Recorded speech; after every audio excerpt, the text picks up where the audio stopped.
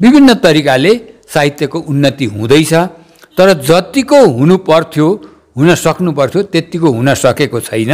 त्यसका पछाडि केही बाधक तत्त्वहरू छन्। यी बाधक तत्त्वहरूबाट हामीले विजय पायौँ भनेदेखि हामी शून्य भने पक्कै छैनौँ। हाम्रो साहित्यिक जग धरातल बाँझो छैन।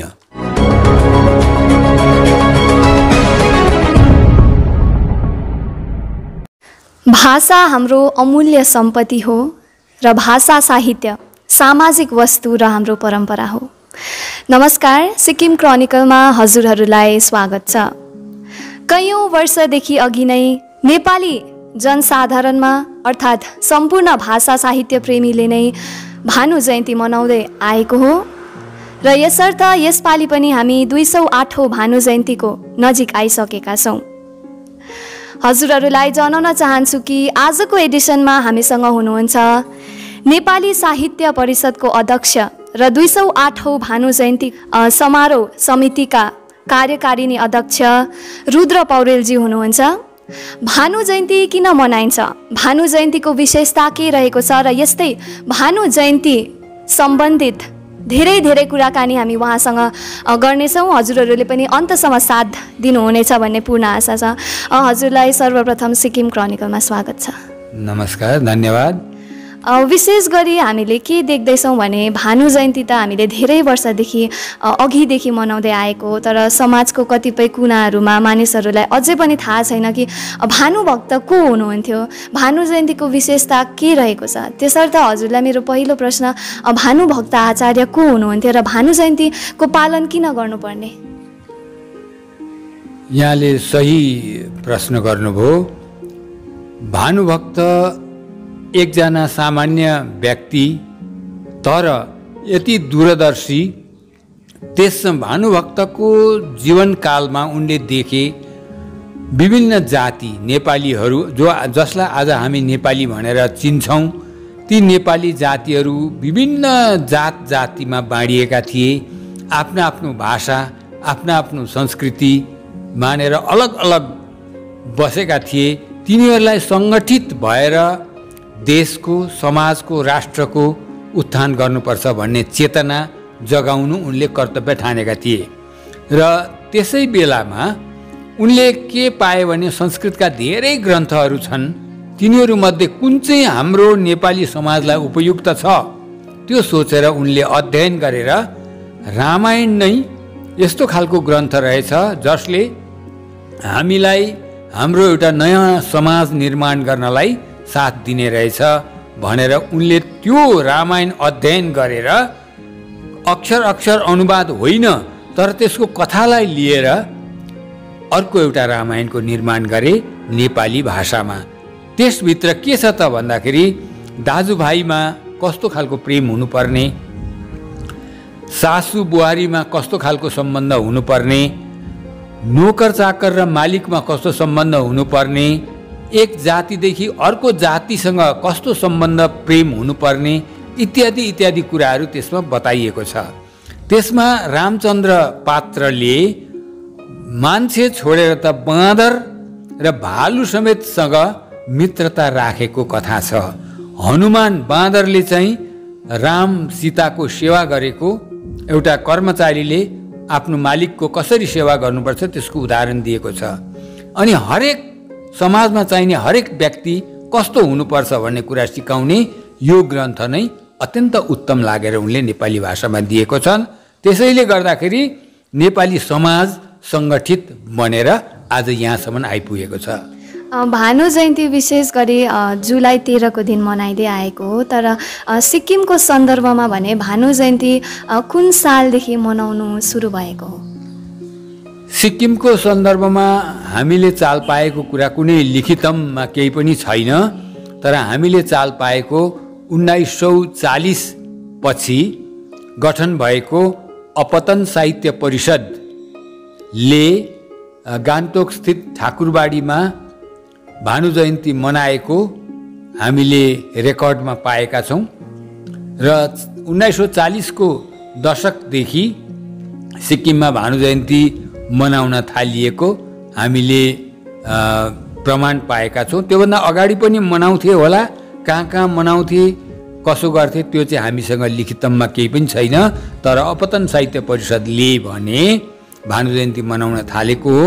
त्यसपछिबाट युवा पुस्तकालय र आदि गर्दै गर्दै उन्नाइस सौ पचहत्तर सालदेखि पछाडि त यहाँ भारत जब सिक्किम भारतमा विलय भयो त्यसपछि त यहाँका राज्यपाल मुख्यमन्त्री मन्त्रीहरू समेत समभागी भएर भानु जयन्ती मनाउन थालिएको हो र उन्नाइस सौ बयासी सालमा आएर त भानुभक्तको सिङ्गो प्रतिमा जो संसारमा कहीँ थिएन सर्वप्रथम सिङ्गो प्रतिमा यहाँ सिक्किममा नै भएको हो। त्यसले गर्दाखेरि भानु जयन्ती सिक्किमको निम्ति एउटा ठुलो चाडको रूपमा मनाउने चलन छ। विशेष गरी हामीले के देख्छौँ भन्दाखेरि सिक्किममा जति पनि साहित्य प्रेमीहरू हुनुहुन्छ साहित्यपट्टि रुचि राख्ने मानिसहरूको सङ्ख्या दिनौँ दिनौँ घट्दै गरेको देखिन्छ। यस विषयलाई तपाईँ कुन रूपमा हेर्नुहुन्छ? साहित्य भनेको एउटा ठुलो घर बलियो घर बनाए तापनि जबसम्म त्यसमा रङ रोगन लगाइँदैन त्यसमा सौन्दर्य आउँदैन। त्यस्तै साहित्य समाजको निम्ति रङ रोगन नै हो। अनि साहित्यले त्यो समाज कतिको विकसित छ कतिको उन्नतशील छ त्यो सबै कुराहरू चाहिँ साहित्यद्वारा मूल्याङ्कन हुन्छ। अहिले यो साहित्य पढ्ने अध्येताहरू घट्दैछन् भन्ने कुरा यहाँले ठिकै भन्नुभयो। आधुनिक वैज्ञानिक साधनहरूले गर्दाखेरि आज अध्ययन क्रम विज्ञानमा यो साहित्यमा मात्र होइन सबै पक्षमा अध्ययन क्रम घटेको छ तर हामी निराश छैनौँ। केही थोरै भए पनि अध्येताहरू छन् निर्माताहरू छन् लेखिरहेका छन्। हामी साहित्य परिषदमा के देख्छौँ भनेदेखि प्रत्येक महिनामा हुने प्रतिभा मिलनमा यहाँ टाढा टाढाबाट कविहरू आउँछन् साहित्यकारहरू आउँछन् कथाकारहरू आउँछन् उनीहरू आफ्ना कृतिहरू पढ्छन् पुस्तक छाप्छन् त्यसको विमोचन गर्छन्। त्यसले गर्दाखेरि यो क्रम अवश्य नै सबैले नगर्लान् तर यसका भक्तहरूले चाहिँ छोड्ने छैनन्। साहित्य चिरञ्जीवी नै हुनेछ भन्ने हामी आशा राख्छौँ। सिक्किममा नेपाली भाषा साहित्यको पहिलो प्राथमिक काललाई हेरौँ है। र आजसम्मको प्रगति हेरौँ। यसको विकास क्रम कस्तो पाउनुहुन्छ तपाईँ? सिक्किमेली साहित्यिक विकासको नेपाली साहित्यको विकासको क्रम विचार गर्दा पहिले पहिले मानवीर सिंह रसाइली त्यसपछिबाट तुलसीबहादुर छेत्रीहरू अपतन साहित्य परिषदका मेम्बर तुलसीबहादुर छेत्री पदङ सिंह सुब्बा यिनीहरू चारजना व्यक्तिहरू र रामदत्तलाल ठाकुर त्योभन्दा पहिला गद्यमा लेख्ने मानवीर सिंह रसाइली यिनीहरूदेखि जुन क्रम चलेर आयो यो क्रम बिचमा सत्तरी साठीदेखि सत्तरीको दशकमा धेरै विकसित भएर गएको थियो। सत्तरी पछि पनि यो जब सिक्किम भारतमा विलय भयो विभिन्न ठाउँमा विभिन्न प्रकाशनहरू निस्किन थाले अनि अहिले अहिलेको समयमा के छ भनेदेखि यो प्रिन्टिङ टेक्नोलोजी यति उन्नत भएर गयो। त्यसले गर्दा त्यो सहज भएकाले गर्दा धेरै पुस्तक पत्र पत्रिकाहरू छापिँदैछन् र त्यसमा हामी एउटा कुरा चाहिँ याद गर्नुपर्छ स्तरीयताको दृष्टिकोणले हेर्ने हो भनेदेखि यी सबै छापिएका स्तरीय छन् भन्न मिल्दैन। तर यो पनि भन्न मिल्दैन ती छापिएका कुराहरू स्तरीय छैनन् भनेर भन्न पनि मिल्दैन। त्यसले गर्दाखेरि विकास क्रम हामीलाई सन्तोषजनकै लाग्दैछ। तर एउटा कुराको चाहिँ मलाई खाँचो महसुस भए भएको म देख्छु। त्यो चाहिँ के भनेदेखि पत्र पत्रिकाहरू पुस्तकहरू छापिन्छन्। त्यसको बिक्री वितरणको व्यवस्था चाहिँ यहाँ नभएकोले गर्दा प्रचार कम्ती छ। त्यो बिक्री वितरणको व्यवस्था पनि हुनु हो भनेदेखि यहाँको साहित्यिक विकास साहित्यिक उन्नति सन्तोषजनकै छ भन्नुपर्छ। र तपाईँले अघि भन्दै हुनुहुन्थ्यो यहाँ विभिन्न कार्यक्रमहरू पनि भइबस्छ साहित्य परिषदमा। तर के देख्नमा आएको छ भन्दाखेरि यहाँ जति पनि कार्यक्रमहरू हुन्छ त्यो कार्यक्रमको खबर कार्यक्रम हुँदैछ भन्ने खबर एकदमै थोरै जनसमुदायसम्म मात्र सीमित हुन्छ। यसलाई तपाईँ कुन रूपमा हेर्नुहुन्छ? यो ठिकै भन्नुभयो यहाँले हाम्रो कमजोरी हो प्रचार प्रसारमा हामी पछाडि छौँ। यद्यपि अहिले त प्रचार प्रसारका माध्यमहरू धेरै छन् तर तिनीहरूलाई प्रयोगमा हामीले कम्ती ल्याएका छौँ जसले गर्दा प्रचार प्रसार कम्ती हुन्छ। तर के हो भनेदेखि हामी अर्को पनि एउटा पक्ष छ। प्रचार प्रसार र हल्ला मात्र साहित्यको सेवा होइन। त्यसदेखि अतिरिक्त आफ्नो आफ्नो काम चाहिँ गरिरहनुपर्छ। कुनै न कुनै दिन त्यसको मूल्याङ्कन हुन्छ भन्ने आशा पनि हामीले राखेका छौँ। तर अब यहाँले सजेसन दिनुभयो यहाँले कुरा उकाउनु भयो हामी प्रचार पनि बिस्तारै गर्न थाल्छौँ भन्ने मैले सोचेको छु। हुन्छ यहाँनिर जति पनि कार्यक्रम हुन्छ यहाँ देख्दाखेरि स्पेस एकदमै कम्ती कम्ती देखिन्छ किनभने साहित्य भनेको सागर स्वरूप र ठुलो किताब हो साहित्य भनेपछि। र तपाईँहरूले जति पनि यहाँ कार्यक्रम गर्नुपर्छ यो कार्यक्रम गर्नुको निम्ति यो जग्गा सानो भएको जस्तो तपाईँहरूलाई लाग्छ कि लाग्दैन कोही बेला ठुलै जस्तै भानु जयन्तीलाई हेरौँ मनन केन्द्रमा योपालि मनाउनु आँट्नु भएको छ है। त्यस्तै प्रकारले अन्य साहित्यिक कार्यक्रमहरूको निम्ति यो साहित्य परिषदलाई बढाउनु पर्ने हो कि मनन केन्द्र त एउटा अल्टरनेटिभ भयो। यस्तै रूपमा यो प्रब्लमलाई कुन रूपमा हामीले सर्ट गर्न सक्छौँ?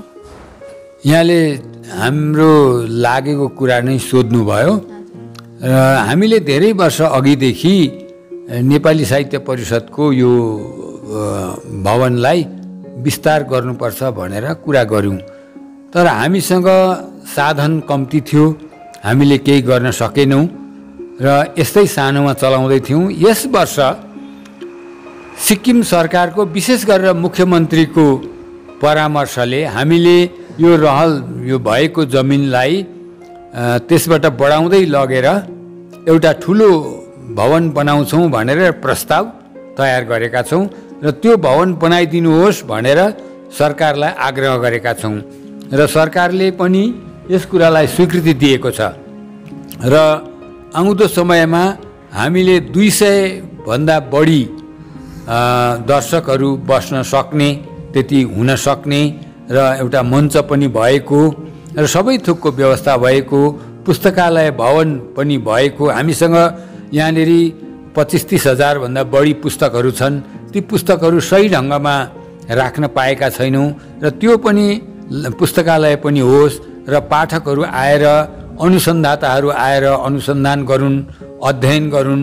भन्ने त्यो पनि हामीले आशा राखेका छौँ र यी जम्मै कुरालाई भित्र मिलाएर हाम्रो ब्लुप्रिन्ट तयार भएको छ र हामी चाँडै नै सरकारलाई सरकारसँग कुरा गरेर नै यो हामीले बनाएको हो र चाँडै नै हामी सरकारलाई यो बुझाउँछौँ र उहाँहरूको अनुग्रह भयो भने चाँडै नै हामीले चिताएको जस्तो दुई सयभन्दा बढी दर्शकहरू बस्ने हेर्न सक्ने हल र त्यसमा मञ्च पनि र अभिनय इत्यादि कलाहरूको पनि विकास गर्ने ठाउँ यो पनि हुनेछ भन्ने हामीले आशा राखेका छौँ। र अर्को कुरा के गर्न चाहन्छु भने साहित्यमा रुचि राख्ने मानिसहरूको जनसङ्ख्या कम्ती भए पनि त्यो जनसङ्ख्यामध्ये विशेष गरी नानीहरू केटाकेटीहरूले कविता लेख्नु कथा लेख्नुमा एकदमै रुचि राख्नुहुन्छ है। यसै सन्दर्भमा हजुरलाई एउटा प्रश्न सोध्न चाहन्छु सिक्किममा बाल साहित्य कहिलेदेखि सुरु भएको थियो?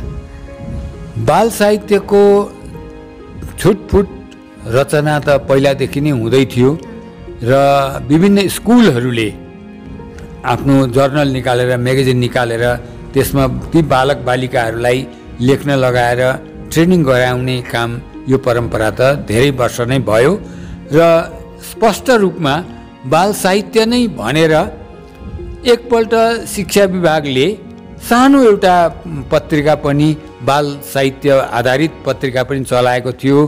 नयाँ बाटो कि के भन्ने त्यो अहिले हराएर निकै वर्ष भयो। त्यो त कम्ती समय मात्रै चल्यो त्यसपछिबाट त्यो हरायो। र कुनै पनि त्यस्तो खालको संस्था छैन जसले बाल साहित्य चाहिँ यस्तो हुनुपर्ने भनेर चलाउँदै गरेको छैन। फेरि अर्को कुरा चाहिँ यहाँलाई यहाँको जानकारीको लागि म के पनि भन्न चाहन्छु भनेदेखि बाल साहित्य पनि दुई किसिमको हुन्छ। एउटा बालकले लेखेको र अर्को ती बालकलाई मार्गदर्शन गर्ने प्रबुद्ध व्यक्तिहरूले लेखेको। यहाँ एउटा पत्रिका चल्छ बाल दर्पण भन्ने। त्यो नितान्त बालकहरूले लेखेको मात्रै त्यसले बाल साहित्यको खाँचो पुरा गर्दैन। बाल साहित्यभित्र बालकहरूलाई लेख्ने पनि र कस्तो खालको लेखिनु पर्ने त्यसको निर्देशन पनि भएको हुनुपर्छ। त्यस्तो खालको पत्र पत्रिकाहरू केही यहाँ निस्किँदैछन् तर तिनीहरू दिगा छैनन्। त्यही हो।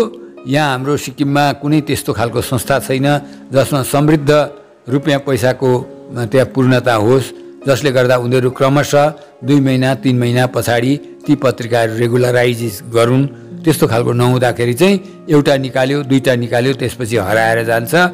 बाल साहित्यको शून्यता चाहिँ सिक्किममा नभएको छैन शून्य चाहिँ होइन। बाल साहित्य छ तर यस्तो किसिमको छरिएर कता कता बाल साहित्यको बारेमा चर्चा हुन्छ चेवा हुन्छ निस्किन्छन् पनि तर बालककै निम्ति भनेर निस्किने पत्र पत्रिकाहरूको चाहिँ यहाँ खाँचो नै छ। सिक्किममा साहित्यको जगतमा सिक्किमले कति प्रगति गरिसकेको छ र कस्तो प्रगति गर्नु सक्छ आउने दिनहरूमा? अहिले हेर्दाखेरि त साहित्य बारेमा धेरै चर्चा हुन्छ विभिन्न ठाउँमा धेरैवटा संस्थाहरू पनि छन् पश्चिम सिक्किम जोरथाङ पाक्योङ सिङताम अरू पनि ठाउँहरूमा उत्तर सिक्किममा अनि गाउँ गाउँमा पनि साहित्यिक संस्थाहरू खोलेका छन् चर्चा गर्दैछन् पढ्दैछन्। यति हो पाठकहरू बेसी व्यस्त भए जसले समय दिन पाएका छैनन् मैले देख्दाखेरि। अनि त्यो समयको घात गर्ने सबभन्दा ठुलो हतियार हो टेलिभिजन र मोबाइल। यो दुईटाले पाठकलाई पढ्नबाट वञ्चित गराएको छ। तर यिनीहरू पनि कतिन्जेल कतिन्जेल चल्ला र साहित्यको इतिहास हामीले हेर्दा त आदिकवि वाल्मिकीको समयदेखि लिएर आजसम्म साहित्यिक सिर्जना भइराखेको छ। भने यी टेलिभिजन र मोबाइल त भर्खर सुरु भएका हुन् यिनीहरू कतिन्जेल चल्लान्। यी सबै कुराहरूलाई छोडेर हामीले सिक्किमको साहित्यिक प्रगतिबारे चर्चा गर्दाखेरि चाहिँ हामी निराशा लिएर जाने काम छैन। हामी आशावान नै छौँ ठाउँ ठाउँबाट विभिन्न तरिकाले साहित्यको उन्नति हुँदैछ। तर जतिको हुनु पर्थ्यो हुन सक्नु पर्थ्यो त्यत्तिको हुन सकेको छैन। त्यसका पछाडि केही बाधक तत्त्वहरू छन्। यी बाधक तत्त्वहरूबाट हामीले विजय पायौँ भनेदेखि हामी शून्य भने पक्कै छैनौँ। हाम्रो साहित्यिक जग धरातल बाँझो छैन। सिक्किम अर्थात् नेपाली साहित्य परिषदले सिक्किमको साहित्यको क्षेत्रमा कस्तो भूमिका निभाइरहेको छ? यो नेपाली साहित्य परिषदले आफ्नो बुत्तामा साहित्यिक कार्यक्रमहरू गरेर जान्छ।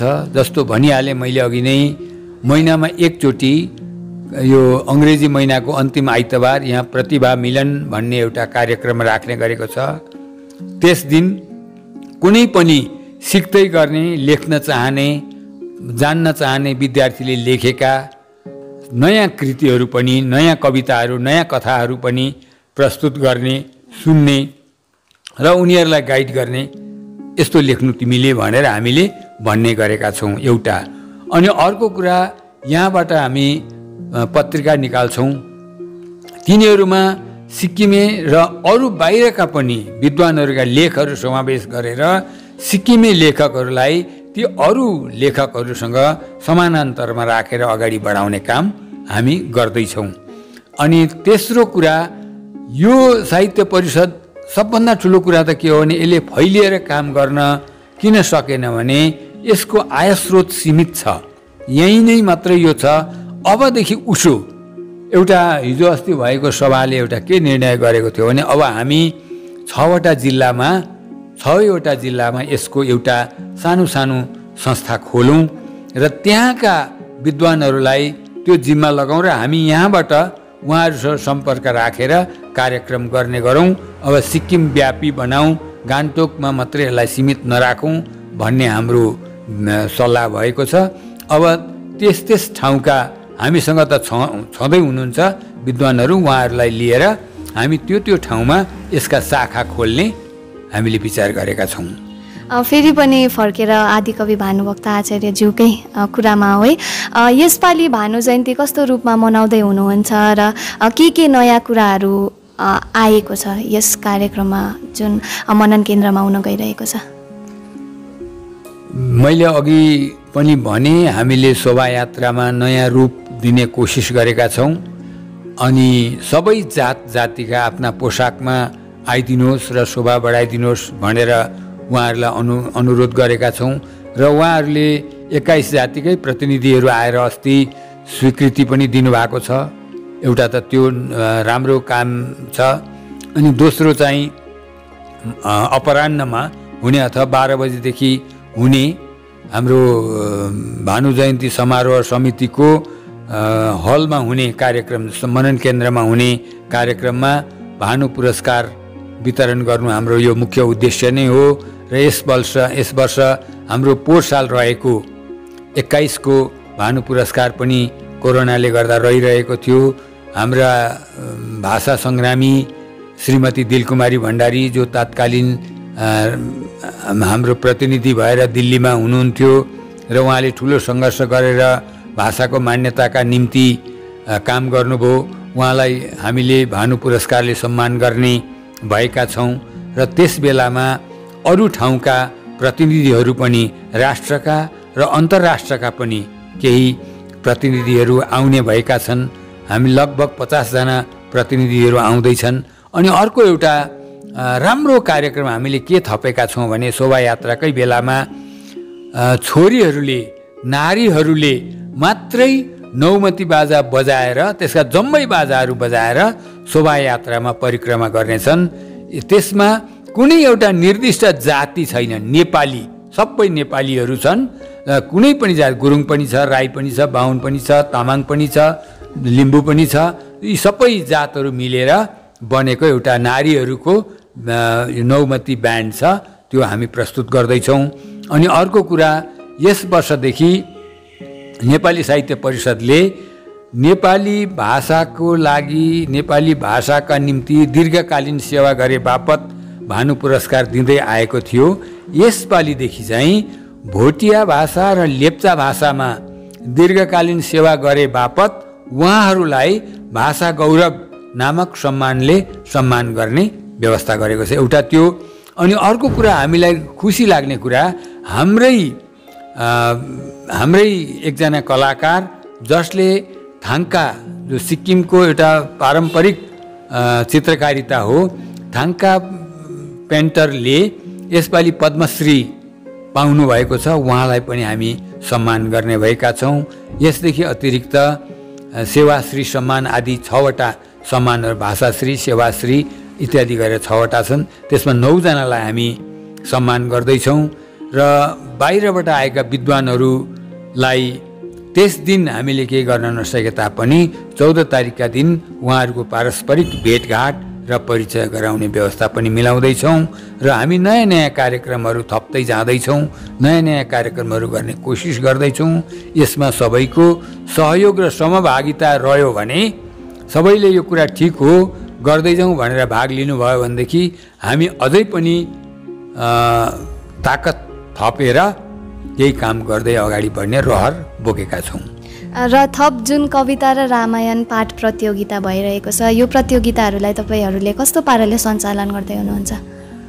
यसमा हामीले पहिला दुईवटा वर्गमा छुट्याएका छौँ विद्यार्थी वर्ग र खुला। विद्यार्थी वर्गका निम्ति हामीले टाढा टाढाका विद्यार्थीहरूलाई दुःख दिन किन सकेनौँ भने एउटा त स्कुल छुट्टी थियो त्यसले गर्दा उनीहरूलाई खबर नपुग्ने भयो र गान्तोक वरिपरि र पूर्व सिक्किमको पाकिम दिक्लिङसम्मका विद्यार्थीहरूलाई उहाँका प्रिन्सिपल महोदयहरूलाई अनुरोध गऱ्यौँ। तपाईँहरूले आफ्नै स्कुलमा कविता प्रतियोगिता गर्नुहोस् र पहिलो र दोस्रो हुने श्रेष्ठ कविताहरू हामी कहाँ पठाइदिनुहोस् र ती कविताहरू चाहिँ नौ तारिकका दिन यहाँ सबै त्यो विभिन्न स्कुलबाट आएका प्रतियोगीहरूले आफ्नो कविता पाठ गर्छन्। र जो प्रथम हुन्छ र दोस्रो हुन्छ तिनीहरूलाई हामी पुरस्कृत गर्छौँ। र पहिलो हुने कविता चाहिँ भानु जयन्तीका दिन मनन केन्द्रमा पढ्न पढ्ने अवसर पनि हामी मिलाउँछौँ भनेर भनेका छौँ। यो कविताहरूको नियमहरू कस्तो कस्तो छन्? नियम त कविताका लागि हामीले बढी नियम लाउनु हुँदैन। एकजना कविले एउटै मात्रै कविता पढ्ने त्यो एउटा नियम हो। अनि अर्को दोस्रो चाहिँ कसैमाथि आक्षेप भएको हुनु हुँदैन राष्ट्रलाई समाजलाई देशलाई जातिलाई कसैले पनि आक्षेप गर्नु भएन आफ्नो कवितामा। त्यो कविता सौन्दर्यपरक हुन्छ त्यसले गर्दा त्यो आक्षेपरहित हुनुपर्छ। यति नै मात्रै मूलभूत हाम्रा विचारहरू हुन्।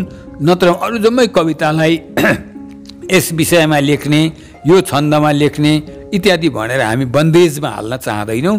स्वतन्त्र रूपले विद्यार्थीहरूले कविता पढ्न पाउँछन्। र सम्पूर्ण जगतमा छरिएर बस्नुभएको नेपाली साहित्य भाषा साहित्य प्रेमीहरूलाई अन्तमा तपाईँ के सन्देश दिन चाहनुहुन्छ भानु जयन्तीको उपलक्ष्यमा? समस्त विश्वमा रहेका हाम्रा नेपाली भाषी दाजुभाइ दिदीबहिनीहरूलाई दुई सौ आठौँ भानु जयन्तीको म मङ्गलमय शुभकामना दिन चाहन्छु नेपाली साहित्य परिषदको तर्फबाट। अनि भानुभक्त भानु जयन्तीकै कुरा गर्ने हो भने भानुभक्त यस्तो खालको कवि हुन् जसको कृतिको प्रभावले हाम्रो समाज निर्माण भयो। हामी एक अर्कासँग प्रेम गर्न सद्भावना गर्न सिक्यौँ र साथसाथै भानुभक्तले हामीलाई के मार्गदर्शन गराए भनेदेखि जस्तो प्राचीन गीताले जीवन दर्शन सिकाएको छ। त्यस्तै हाम्रो समाज हामी नेपाली भाषीहरूको समाज कस्तो हुनुपर्ने त्यसको मार्गदर्शन भानुभक्तले रामायणको माध्यमले गरिदिएको हुँदाखेरि त्यसैको अनुसरण गरेर हामी असल नागरिक असल कर्तव्यपरायण र सद्भावना बोकेका व्यक्तिहरूको सूचीमा विश्वमा पहिलो नम्बरमा पुग्न सकौँ। यो कामना यहाँहरू सबैसँग राख्छु र सबैलाई पुनश्च भानु जयन्तीको हार्दिक मङ्गलमय शुभकामना चढाउँछु धन्यवाद। हजुरहरू सम्पूर्णमा फेरि एकचोटि जगतमा छरेर बस्नुभएको सम्पूर्ण भाषा साहित्य प्रेमीलाई अगावि नै दुई सौ आठौँ भानु जयन्तीको मङ्गलमय शुभकामना दिन चाहन्छौँ। अन्य समाचारको निम्ति सिक्किम क्रोनिकल हेर्दै गर्नुहोस्। नमस्कार।